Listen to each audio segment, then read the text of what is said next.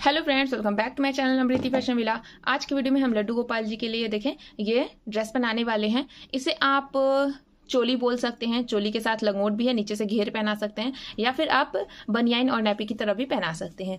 ये रहा इसका मेज़रमेंट चार्ट आप स्क्रीनशॉट ले सकते हैं, मैंने सभी साइज़ के लिए बनाना बताया है। चार नंबर के कान्हा के लिए मैंने यहाँ पे बनाया हुआ है बट ये सेम ऐसे ही पाँच नंबर को भी आ जा रहा है। बाकी मैंने मेज़रमेंट बताई हुई है, देखिए कितना ईजी आ गया इजीली ये यहाँ पे इस तरह से ऐसे सेट हो जाएगा। तो वीडियो स्टार्ट करने से पहले गाइज़ अगर आपने अभी तक चैनल को सब्सक्राइब नहीं किया है तो प्लीज़ आप चैनल को सब्सक्राइब करें, साथ में बेल आइकन पर प्रेस करके ऑल पे क्लिक कर लें, जिससे मेरे आने वाली वीडियोस की नोटिफिकेशन आपको मिलती रहे। और अगर आपने मुझे अभी तक इंस्टाग्राम पे फॉलो नहीं किया है तो मुझे वहाँ पे फॉलो करिए। मेरा इंस्टाग्राम हैंडल है अमृति फिफ्टी या फिर लिंक आपको डिस्क्रिप्शन बॉक्स में मिल जाएगा। यहाँ पे हम बात देंगे। ये देखें, ये इस तरह से आ रहा है। मैं आपको पीछे से दिखाऊँ।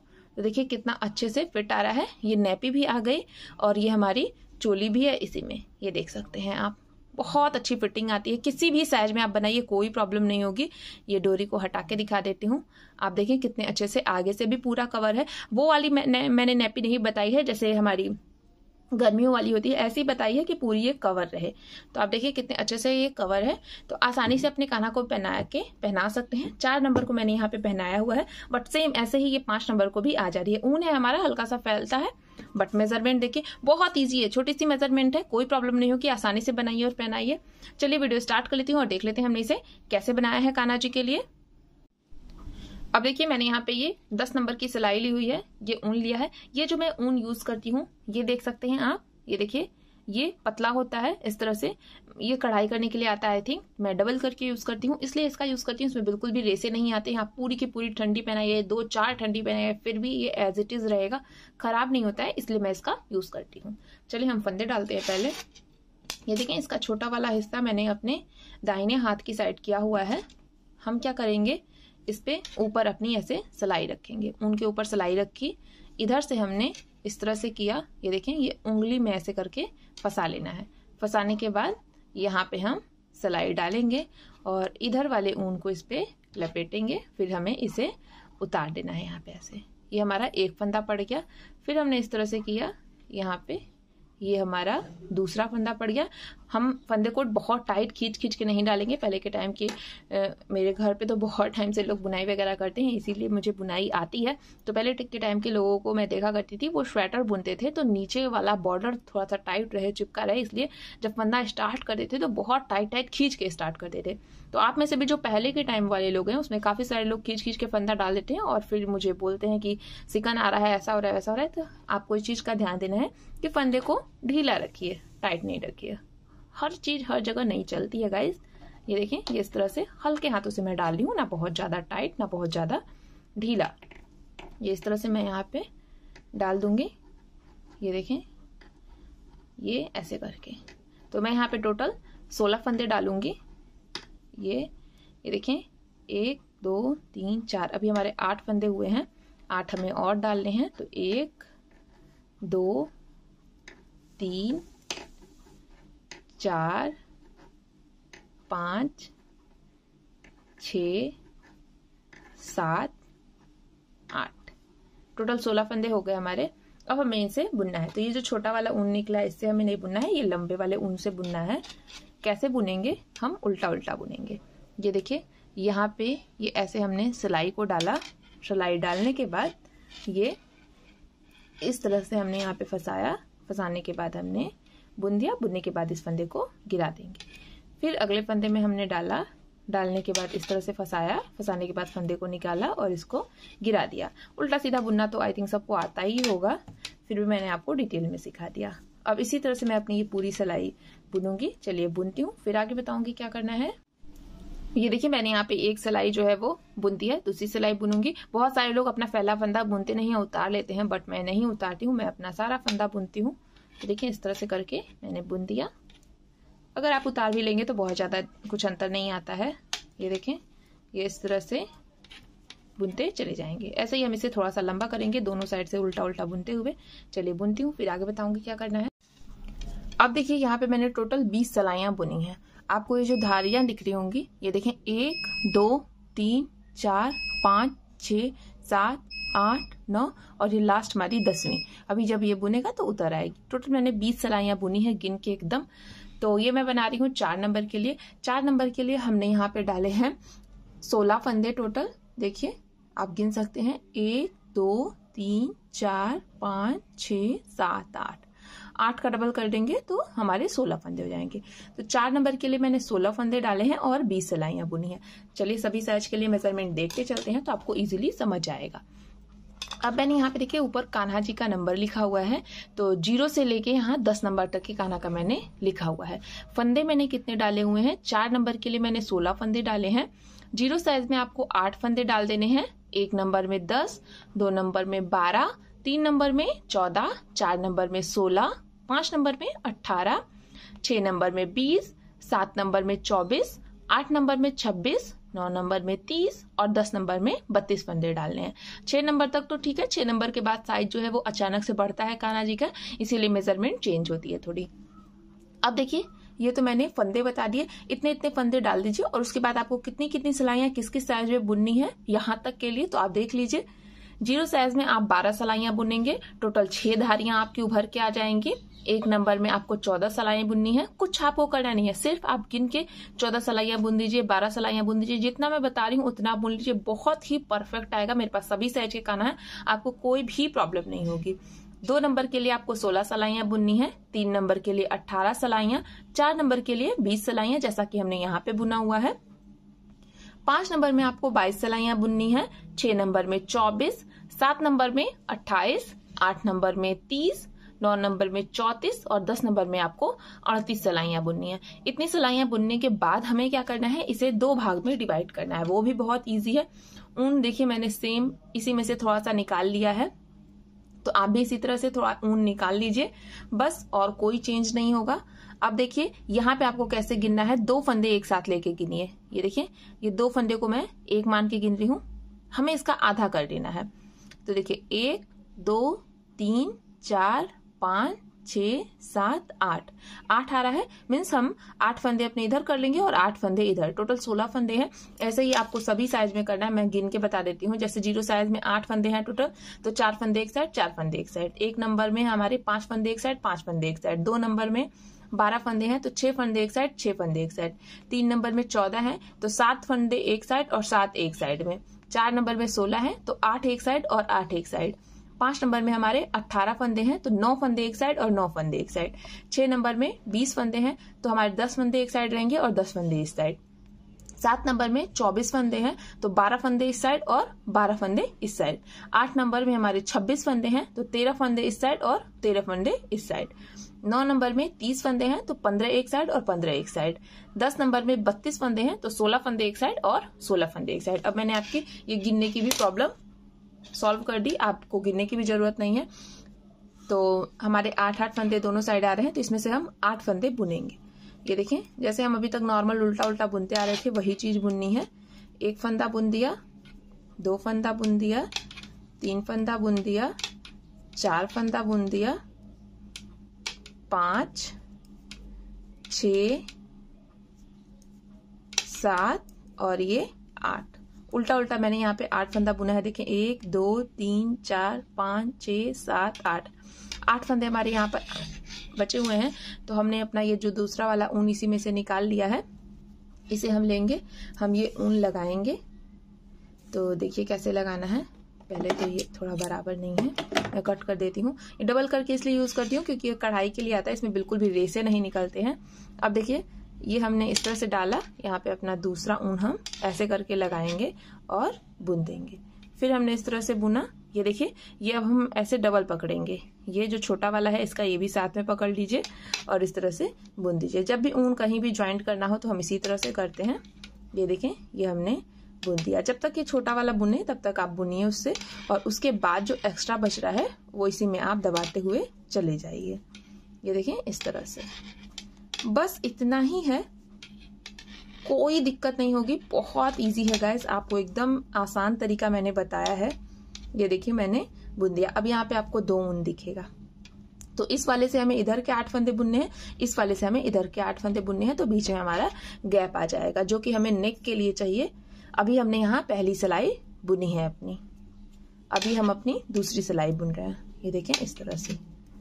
ये ऐसे करके। बहुत इजी होगा, बहुत ही इजी मेरी वीडियो थोड़ी सी बड़ी हो जाती है, बट मैं आपको समझाती एकदम डिटेल में हूँ। अगर आप एक बार वीडियो देखेंगे तो आप आसानी से बना लेंगे, आपको कोई प्रॉब्लम नहीं होगी। ये देखें इधर के आठ फंदे मैंने इस ऊन से बुन दिए। अब ये जो ऊन है, हम पीछे कर देंगे, क्योंकि हमें पीछे बुनना होगा, और इधर वाले को हम आगे कर लेंगे। ये देखें, ये इधर के हम आठ फंदे बुन देंगे इससे। तो आप देखिए कितना इजी है, बहुत आसानी से बुनता चला जाएगा, कोई दिक्कत नहीं होगी। अब बीच में हमारा गैप आता, चला जाएगा। ये हमने अपनी दूसरी सिलाई लगभग कंप्लीट कर ही ली है। इसके बाद मैं तीसरी सिलाई बुनूँगी। सभी साइज़ में आपको बताऊँगी कि डिवाइड करने के बाद कितनी कितनी सिलाइयाँ बुननी है। देखिए, यहाँ पे हमारा गैप आ रहा है बीच में। तो चलिए, मैं अभी से लंबा करती हूँ, फिर आगे बताऊँगी कि क्या करना है। ये देखिए, ये हमारा हो गया है। यहाँ पे हमने फिर से बीस सिलाइयाँ बुनी है। देखिए, यहाँ से ये हमारा अलग हुआ है, आप देख सकते हैं। अब इसके बाद हम ये वाली अपनी धारी गिनेंगे। तो देखिए, ये एक, दो, तीन, चार, पाँच, छ, सात, आठ, नौ, दस। दस का मतलब हमने बीस सिलाइयाँ बुनी है। बीस सिलाइयाँ नीचे, बीस सिलाइयाँ डिवाइड करने के बाद। देखिए अलग अलग आप बुनेंगे तो इस तरह से आपका अलग अलग आएगा। ऐसे ये नेक के लिए बन जाएगा। एकदम सिंपल है। अब यहाँ से हम इसे ज्वाइंट करेंगे। तो कैसे ज्वाइंट करना है? बस इसी ऊन से जिस ऊन से यहाँ पे आप बुनाई शुरू करेंगे, इसी ऊन से आपको पूरा बुनते चले जाना है सभी फंदों को। हमारे टोटल सोलह फंदे इसी से बुन जाएँगे। तो देखिए, इस तरह से ऐसे करके हम बुन देंगे। बहुत इजी है गैस बहुत ही इजी ये हमने आठ फंदों को बुना। अब इन्हें बुनने से पहले यहाँ पे कट कर लीजिए। देखिए, जो हमने ऊन ज्वाइंट किया था, वो हमारा कट भी हो गया। अब यहाँ पे हम इसे बुनेंगे। यहाँ पे थोड़ा सा टाइट ही बुनिएगा। ये मैंने बुना। और बुनने के बाद ये जो हमने ऊन कट किया था, उसे एकदम टाइट खींचेंगे और इसी में हम अपना लपेट के आगे की बुनाई करते चले जाएँगे। ये देखें इस तरह से। इसे यहाँ पे ऐसे दबाते चले जाना है। तो आपकी बुनाई जो है वो खुलेगी नहीं।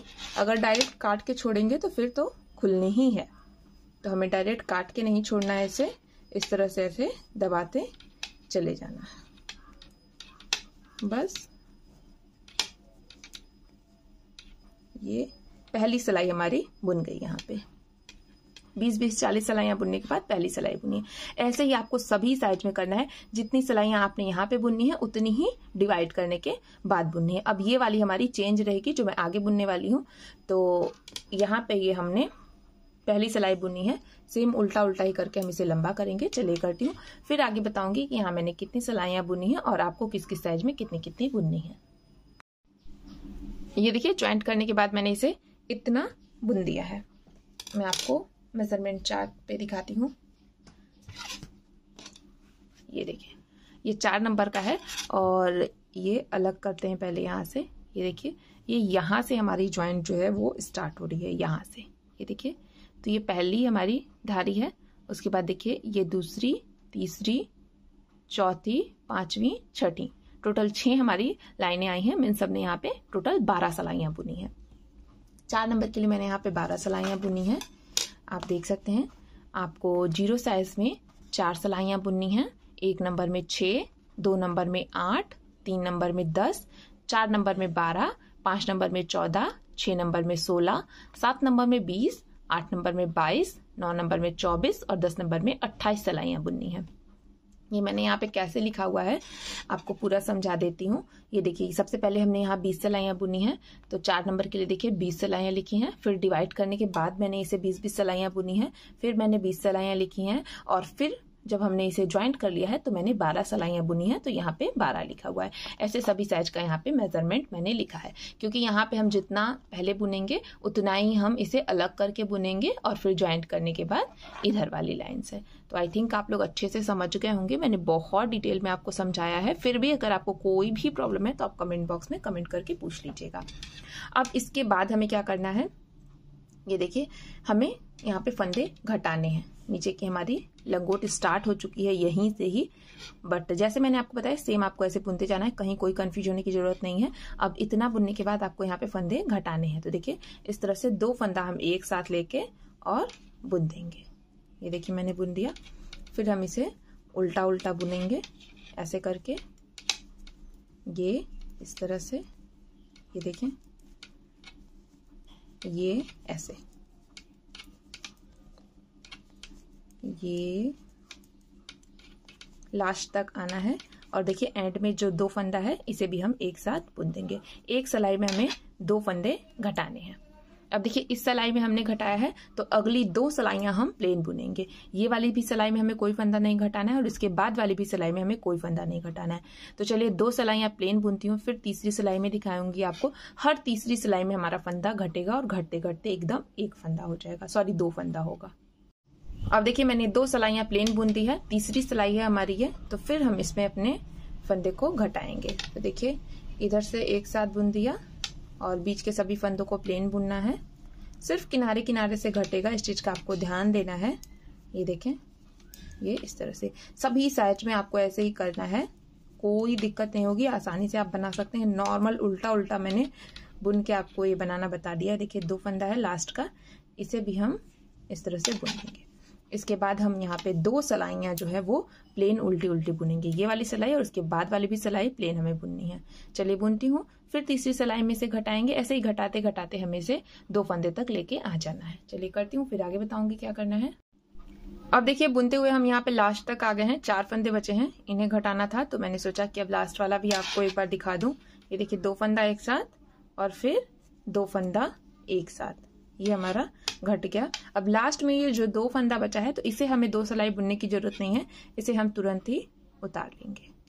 ये इस तरह से हमें दोनों फंदा एक साथ बुन के घटा देना है। बस, ऐसे ही आपको सभी साइज़ में करना है। बुनते बुनते हुए आपको एंड तक आना है और एंड में आके इसी तरह से कर देना है। ये देखिए, इसे फैलाइए। फैलाने के बाद यहाँ से ऐसे ऊन को निकालना है और हम दूर से कट करेंगे। पास से नहीं कट करना है हमें। ये इस तरह से। ये दूर से कट करके हमने खींच दिया और ये हमारा रेडी हो गया। ये देखें इस तरह से। ये कुछ ऐसा सा बना है। यहाँ पे हमारी नेपी भी आ गई। ये ऊपर हमारी चोली भी हो गई। अब आप इसे बनियान की तरह पहना सकते हैं, चाहे तो। और चाहे तो चोली की तरह पहना के, नीचे से घेर बना के पहना सकते हैं। अब मैं यहाँ पे कुछ थोड़ा सा क्रोशिया का काम करूँगी, जो कि बिल्कुल ऑप्शनल है। यहाँ पे कलर ऐड करने के लिए कर रही हूँ। जो भी क्रोशिया से ड्रेस बनाना चाहता है और सलाई से इस तरह से बना रहा है या जैसे भी बना रहा है आउटलाइन अगर आपको यहाँ पे करनी है तो आप कर सकते हैं। तो मेरा काम बताना है, आप इसे ऐसे भी छोड़ सकते हैं, कोई दिक्कत नहीं है। चलिए मैं आउटलाइन कर देती हूँ थोड़ा सा अब देखिए, सबसे पहला काम हमें क्या करना है? ये जो हमारी यहाँ पे देखिए, ऊन निकल रहा है, इसे हम हुक की हेल्प से, ये देखें, पीछे की साइड लगा लेंगे। ये ऐसे देखिए, हुक को निकाल ली हूँ। एकदम इजी है क्रोशिया हुक चलाना कोई प्रॉब्लम वाली बात नहीं है। मैंने इस पर भी एक वीडियो बनाई हुई है, आप चेक करिएगा। ये देखें, इस तरह से इसका फेस अपने साइड रखिए।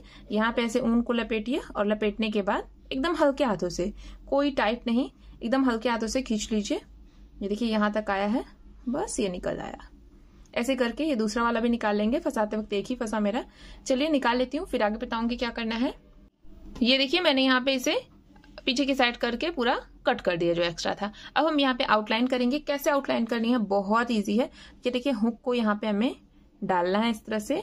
डालने के बाद ये ऊन जो है, वो हम यहाँ से ऐसे फंसा के निकाल लेंगे।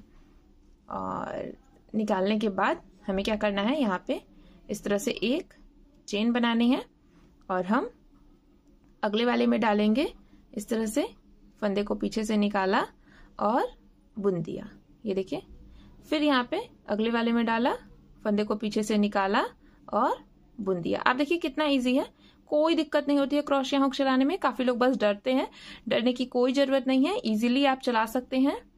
ये देखिए, सभी में एक एक बार इस तरह से हम डाल के और बुन देंगे।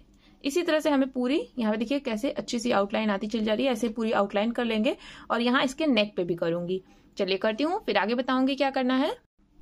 ये देखिए, ये बुनते हुए मैं यहाँ तक आ गई हूँ लास्ट तक एकदम, एक ही दो बचा हुआ है तो इसमें भी हम बुन लेते हैं, उसके बाद मैं आपको इसे ज्वाइंट करना बता दूँगी कि कैसे ज्वाइंट करते हैं।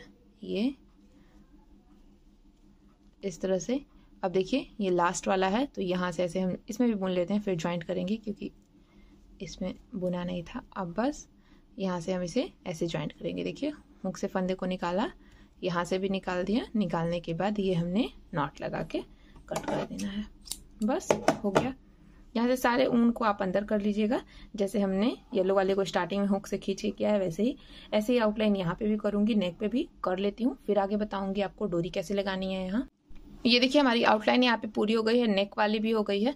अब मैं जो डोरी है वो आपको हाथ से बनाना बताऊँगी हुक से नहीं, क्योंकि जिसके पास भी हुक ना हो या फिर जिसे चलाना ना आता हो, वो भी बना ले।